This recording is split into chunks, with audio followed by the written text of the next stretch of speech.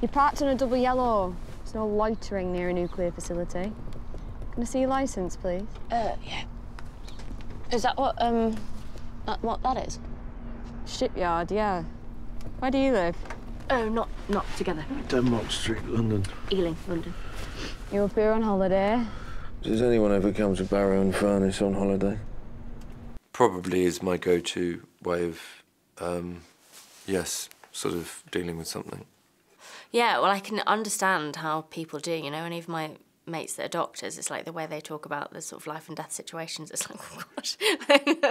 but I think for Robin, it's different because she's never, she's not experienced that before. For Strike, it's kind of, you know, he's been in the army and this, he's seen such a lot of life and death situations. And um, whereas for Robin, it kind of, um, it, you know, it all brings back something else. And I think, um, yeah, I think she's she's got a a little bit more experience to gain before she can join in with the black humour of things.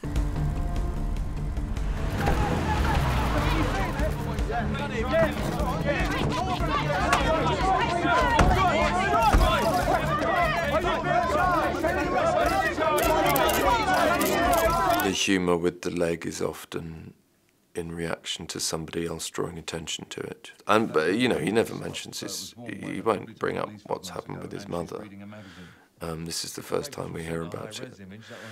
Um, and he's, yeah, uh, saying it because it might have some bearing on the case. Whereas with Robin's past, it is very much a secret. You seem annoyed. Have you found the three man I told Wardle about? I can't discuss that with you. Because it's now part of a murder investigation. Exactly. I don't care. I'll pay the fine. I have asthma.